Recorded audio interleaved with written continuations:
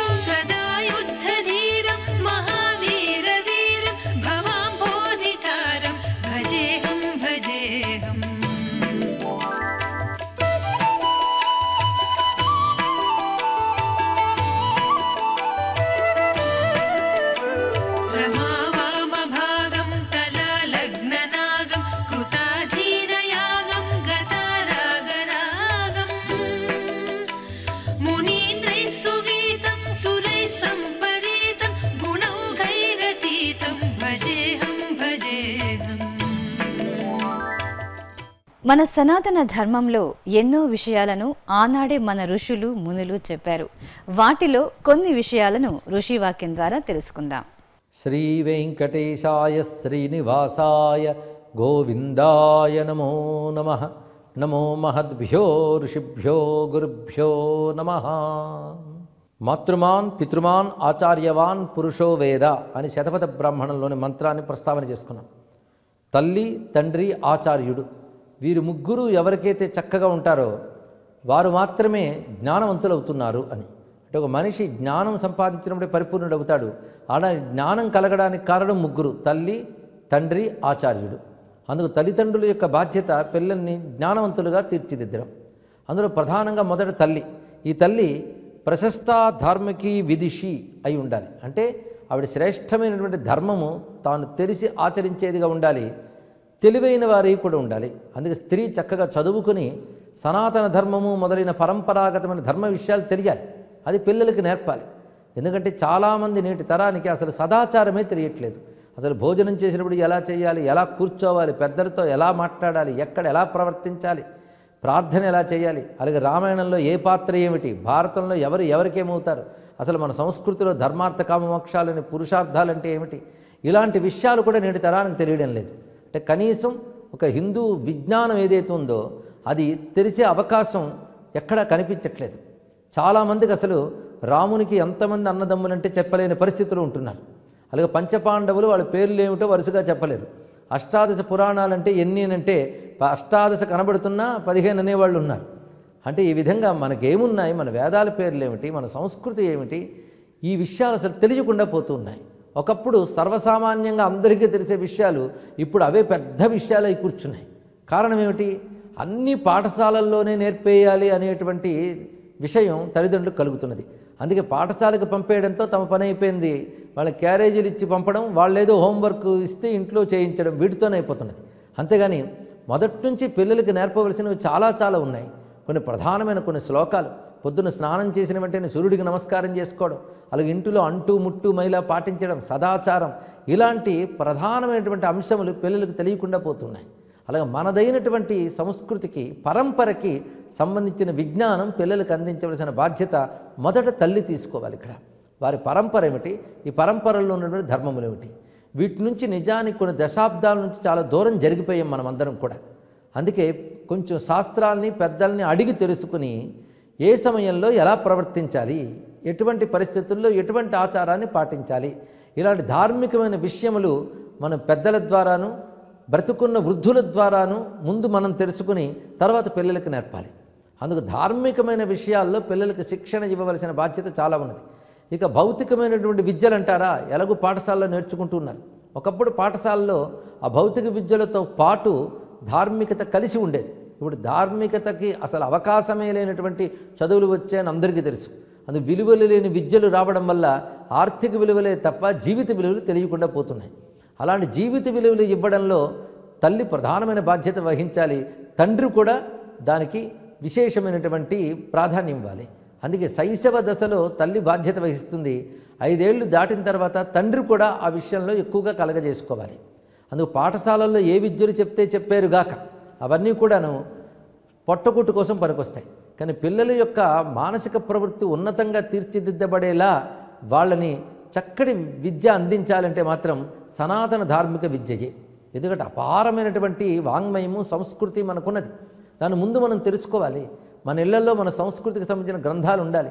కొన్ని శ్లోకాలు కొన్ని పద్యాలు మనం నేర్చుకుని పిల్లలకి నేర్పగలగాలి. వాళ్ళు తడుముకోకుండా చెప్పగలిగేటువంటి స్థితి ఉండాలి. అందుకే తల్లిదండ్రులు ఉద్యోగాదుల్లో ఎంత తీరిక లేని పరిస్థితుల్లో ఉన్నప్పటికీ కూడా పిల్లలకి ఈ విధమైన శిక్షణ ఇవ్వడం చాలా అవసరం. అలాగే కొన్ని నీతుల్ని చక్కని వృత్తాంతాలతో చెప్పవచ్చు. రామచంద్రమూర్తి కథయో బాలకృష్ణుని కథలో ఇలాంటి వాటి ద్వారా కొన్ని ధార్మికమైన అంశముల్ని చక్కగా పిల్లలకు బోధించడం అనేటువంటిది చేయవచ్చు. అదేవిధంగా తల్లిదండ్రుల పట్ల సమాజం పట్ల గురువు పట్ల ఎలా మాట్లాడాలి ఎలా ప్రవర్తించాలి ఒకటి మనదైన భాష మనదైన సంస్కారం ఇది అందించాలి. ఎందుకంటే పాఠశాలల్లో మన మాతృభాషను చక్కగా అధ్యయనం చేసే అవకాశం రాను రాను మృగ్యమైపోతుంది. అందుకే మనదైన మాతృభాష అందులో ఉన్న అందమైన పదాలు వాటికి సంబంధించిన పద్యాలు పాటలు ఇవి కూడా నేర్పవలసిన బాధ్యత తల్లిదండ్రులదే. వీటితో పాటు మనదైనటువంటి సంస్కృతం. ఈ సంస్కృతం కూడా ఇంటి విద్యగా మారాలి ఇప్పుడు. ఎందుకంటే సంస్కృతంతో మనం బ్రతకగలము అనేటువంటి భావం ఎప్పుడూ పోయింది. అందుకు సంస్కృతం కూడా కేవలం బ్రతుకు తెరువు భాషే కాకుండా బ్రతుకు తీరు భాష కావాలి ఇది. మనం బ్రతికే తీరు ఆలోచించే తీరు భారతీయ ఋషులు అనేక సంస్కృత గ్రంథాల్లో అందించారు. అందుకే మాతృభాషని సంస్కృతాన్ని వీటిలో వెలువడినటువంటి మన వాంగ్మయము వీటిపై ఒక పరిచయాన్ని అవగాహనని కల్పించాలి. ఆ పాత్రల విషయంలో కానీ ఆ పాత్రల ప్రవర్తనలోని నీతిని కానీ పిల్లలకి తెలియజేయవలసిన బాధ్యత ఉంది. ఇలాగ ఒకవైపు సదాచారము రెండో వైపు ప్రవర్తనా సరళి మూడవది మనదైనటువంటి వాంగ్మయము సంస్కృతి ఇక నాలుగవది మన భాష. ఈ నాలుగింటిని అందించడానికి పాఠశాల గృహమే కావాలి ఇక్కడ. అక్కడ గృహమే పాఠశాల కావాలి ముందు. అందుకు రెండు విధాల విద్య పిల్లవాడికి అందాలి. ఒకటి గృహ సంబంధమైన విద్య. రెండవది సమాజ సంబంధమైన విద్య.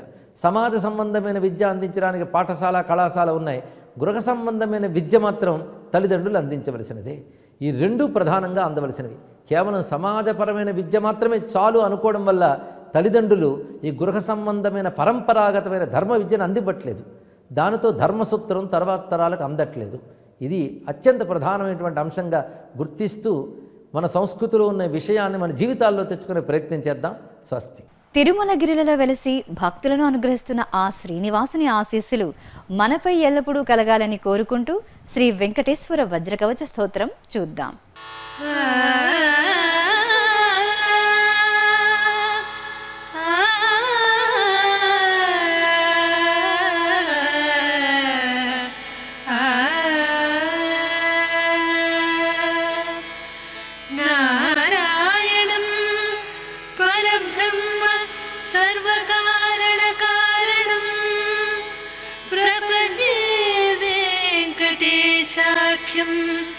तरेव कवचं मम नारायणम् परब्रह्म सर्वकारणकारणम्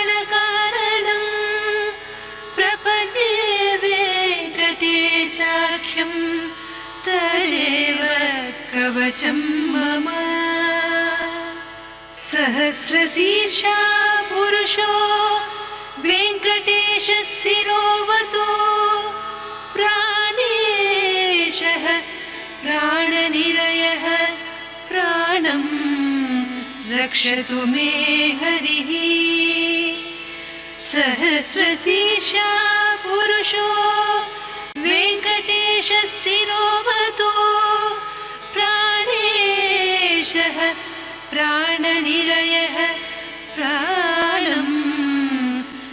रक्षतु मे हरिः।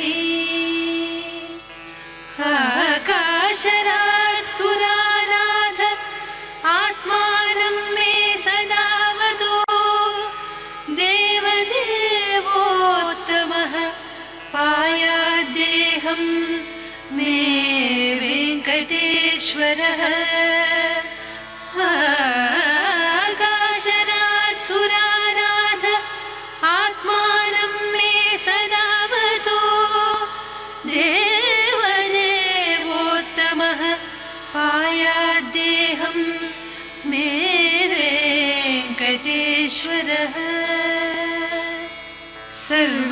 सर्वकालेषु मङ्गाम्बाजानिरीश्वरः निरेश्वरः पारयेन्मामकं कर्म साफल्यं नः प्रयच्छतु। सर्वत्र स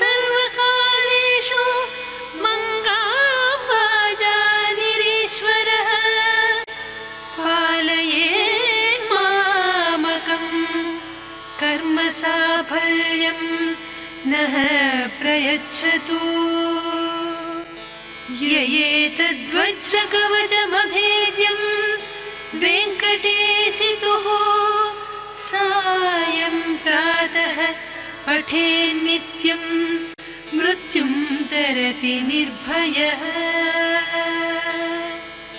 इति मार्कण्डेयकृत वेङ्कटेश्वरवज्रकवचं सम्पूर्णम् వైశాఖ మాసం విశిష్టతను ఈరోజు కొంత తెలుసుకుందాం దామోదరతేనంత నీలమేఘ నిభాయ చ ద్రవన్మృగమదాసక్త విగ్రహాయ నమో నమ శ్రీ మహావిష్ణువుని అనంతునిగా భావించుకునేటప్పుడు పఠించుకోదగినటువంటి శ్లోకం ఇది వైశాఖ మాసంలో అనంతోపాసనం చాలా శ్రేష్టమైనటువంటిది. అక్కడ సంబోధనలతోటి ప్రారంభమవుతున్నది. హే దామోదర! అంటే ఈ దామోదర శబ్దానికి ఎంతో విశిష్టమైనటువంటి అర్థాలు ఎన్నో ఉన్నాయి. ఒకటేమిటంటే ప్రపంచం మొత్తాన్ని కూడా సృష్టించడానికి కావలసినటువంటి శక్తి స్వరూపమైనటువంటి దామం ఈయన యొక్క ఉదరంలో ఉన్నది కనుక ఈయన దామోదరుడు.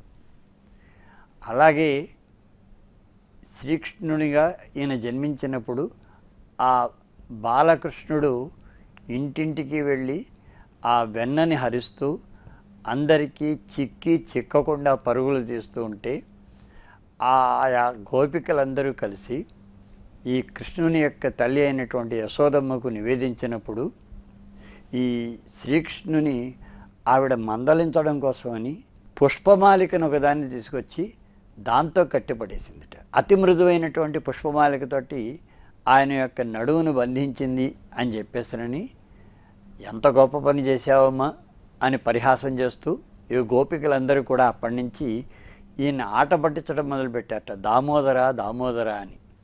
కనుక ఆ విధమైన పుష్పమాలిక చేత బంధింపబడినటువంటి ఉదరం కలిగినటువంటి హే పరమాత్మ అని. కనుక ఆ విధమైనటువంటి దామోదర తే అనంత నీకు తే అంటే నీకు అని అర్థం. అనంత ఓ అనంతుడా నీకు నమస్కారం.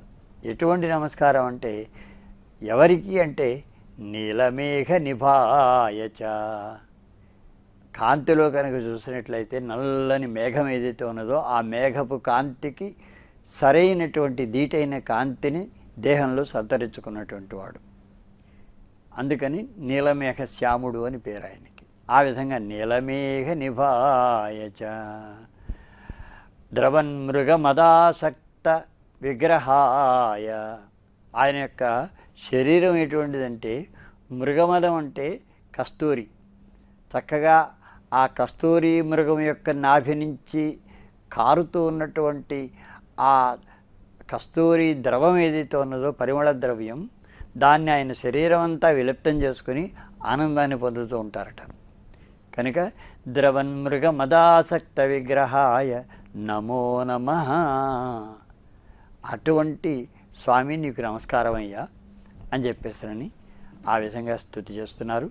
ఆ స్థుతిని మనం చక్కగా మనసులో నింపుకొని ఆ స్వామిని భావించుకుంటూ ఇలా ఉపాసించడం అనేటువంటిది వైశాఖ మాసంలో శ్రేష్టతను పొందినటువంటి సంతరించుకున్నటువంటి విషయం. మనకి అన్ని రకాలైనటువంటి చక్కటి శ్రేయస్సులను కలుగజేసేటువంటి విషయం. వైశాఖ మాసంలో ఒక్కో తిథిలో ఒక్కో విశిష్టత దాగి ఉంది. మరి ఈ రోజు తిథిలో దాగి ఉన్న విశిష్టతను తెలుసుకుందాం. ఈరోజు ఏప్రిల్ ఇరవై తొమ్మిదవ తేదీ చాంద్రమాన విలంబినామ సంవత్సర ఉత్తరాయణ వసంత ఋతువులో వైశాఖ మాసంలో శుక్లపక్షంలో చతుర్దశి తిథి చిత్రా నక్షత్రం ఆదివారం. ఇక్కడ గమనించవలసినటువంటి విషయం ఏంటంటే సూర్యోదయ సమయానికి చతుర్దశి ఉన్నది ఆ పైన పూర్ణిమ ప్రవేశిస్తున్నది. మరునాటి సూర్యోదయానికి ముందరే పూర్ణిమ తొలగిపోతుందన్నమాట. కనుక ఈ పూర్ణిమ ఇక్కడ ఏష్యమైంది. ఇక్కడ మనం చెప్పుకోవాల్సిన తిథి మాత్రం చతుర్దశి. అదేవిధంగా ఆదివారం. ఆదివారం అనేటువంటిది సూర్యునికి చాలా ఇష్టమైనటువంటి రోజు. కనుక సూర్య సంబంధమైనటువంటి స్తోత్రాలను పఠించుకోవచ్చు. ఇక స్థానికమైనటువంటి విశేషాల్లో కనుక వెళ్ళినట్లయితే నాగులాపురం శ్రీ వేదనారాయణ స్వామి వారి యొక్క బ్రహ్మోత్సవం ఈ రోజున ప్రారంభమవుతున్నది. మధురకవి ఆళ్వారి ఆళ్వార్ శాత్తుమర పాండ్య దేశంలో మధుర కవి ఆయన శ్రీమన్నారాయణుని యొక్క గణాంశతోటి ఆవిర్భవించినటువంటి దివ్యమైనటువంటి ఆళ్వారు ఆయన. ఆ మధుర కవి యొక్క శాత్తుమర ఈరోజు జరుగుతున్నది.